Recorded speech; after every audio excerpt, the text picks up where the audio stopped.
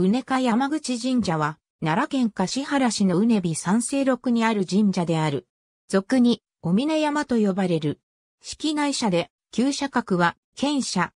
演技式宿史に記される、大和国内の山口社六社のうちの一社であり、旧震災八十五座の一つである。沖縄たらし姫の命、豊受姫の命、右発津の尾の命を祭り、神宮皇后が王神天皇を出産した伝承により、安産の神として信仰されている。他の山口神社の霊や神社の性格から、本来の祭神は大山積命であったとみられる。現在、大山積命は、抹社、大山積命神社に祀られている。宗主の由緒は不詳である。文献の所見は、新章拡直不詳大道元年の神風以降、寄せるという記述である。日本三大実録によれば、上元元年正月27日上には、聖五石下の深海を授けられ、同年9月8日には紀雨のための法兵士が使わされている。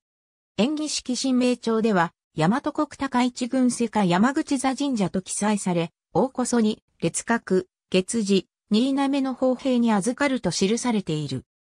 もともと、うねび三世録にあり、文安三年の五軍神社記には、うねび山口神社、在久目合瀬火山西山尾とあるが、天正年間の地図には、うねび山頂に記されており、文安から天正までの間に、山麓から山頂に移されたことになる。神社名は、瀬下座山口神社より、江戸時代には、瀬下明神、瀬下山の神校舎とも呼ばれていた。昭和15年、うねび山登録の橿原神宮で大拡張工事が行われた際、橿原神宮や神武天皇陵を見下ろすのは良くないとして日本政府よりうねび三世録に潜座するよう命じられた。この際、豪社から県社に昇格した。特殊神事として食土神事がある。大阪の住吉大社で記念祭と新滑祭りに用いる瓦家を作るための土をうねび山頂で取る神事である。